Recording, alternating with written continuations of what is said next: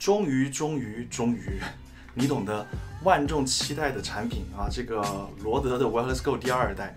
我要说，Wireless Go 系列领夹无线麦克风是目前市场上最好的，应该没有人会反对吧？不过，如果你要说反对，我也不接受。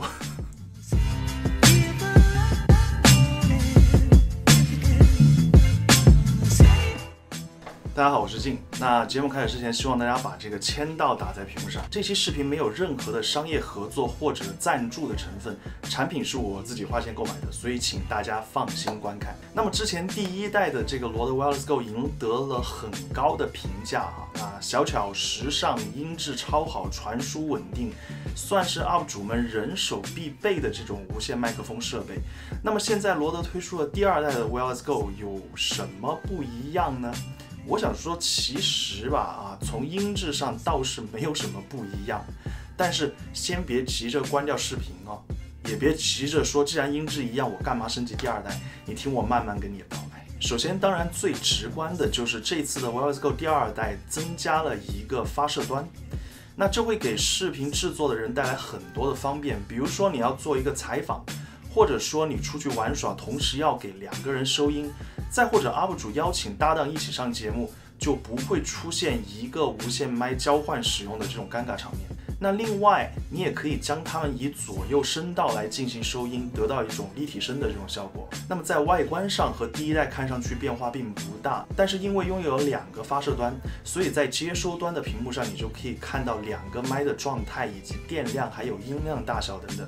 那么给大家一个小贴士啊，在室内录制时，请不要离你的嘴巴太近，容易出现破音的情况。那么这次防风罩的话是可以旋转卡死的。那第一代很多人抱怨防风罩容易掉啊，所以这一代上优化了这一点就非常的赞。好的，那么现在就让我换上这个 Wireless Go 来为你们录制接下来的影片。A few moments later，好的，那现在是 Wireless Go 的录音效果哈，没有任何的后期和降噪处理和优化。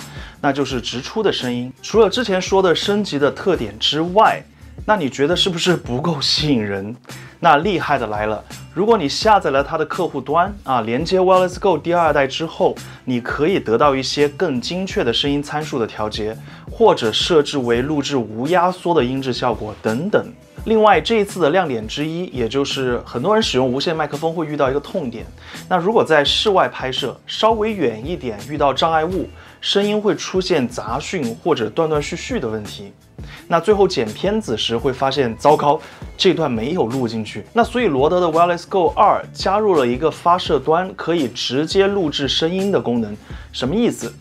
也就是如果真的发现收讯效果不好或者出现断讯的情况，这个发射端可以录制你的声音在里边，而不是直接传输到你的接收端。等你回去剪辑的时候，发现接收端的效果不好。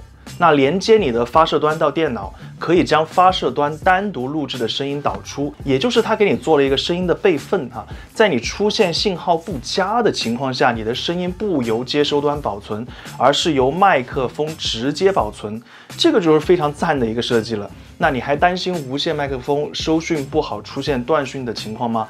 大可不必。那么在很多的无线麦克风中会出现的一个情况，我相信你也遇到过。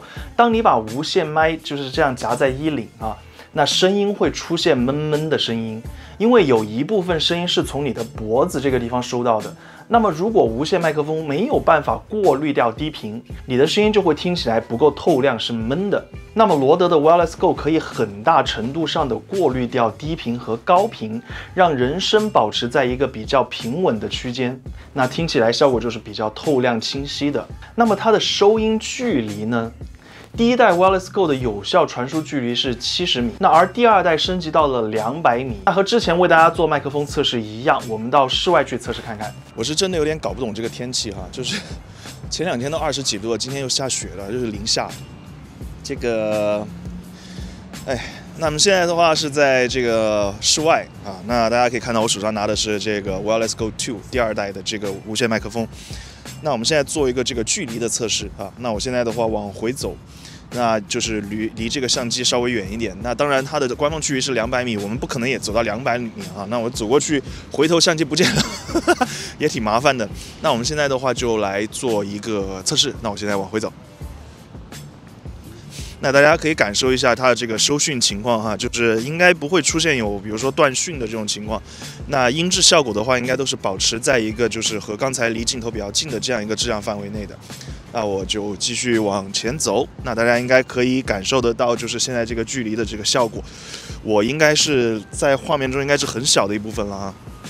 那接下来是继续，哇塞，好冷啊！今天出来穿少了。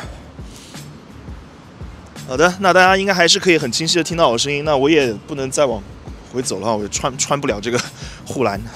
好的，那我现在就往这个相机的方向再走回来。就是如果哪怕出现断讯的情况，就是跟大家有说明的，就是这个 Wireless Go 2的话，第二代的话，它的这个发射端，就我手上拿的这个发射端的话，它是有一个声音的备份处理的。那就算如果你回去在制作视频的时候发现收讯不是很好，那其实你可以连接你的这个发射端到你的电脑，你可以把你。它本身给你录好的这个音频的备份用来使用，所以你不用担心就是有这个断讯啊产生的这种情况啊，所以就是大家使用上是可以放心的。那就是这个户外的这个距离测试就到这边。好的，那怎么样呢？很棒，是不是？所谓一分钱一分货哈，我当然不认为这是一款价钱很亲民的麦克风，那大概在两千五到三千块人民币价格的样子。但是我相信，如果你有买过无线麦克风的经验，对于罗德的 Wireless Go 2的效果，你一定是会满意的。那包括我本人啊，也买过很多零零散散的很多麦克风，或者是无线麦克风啊，但是都会挑出很多毛病。但是罗德的 Wireless Go 系列就确实是真香。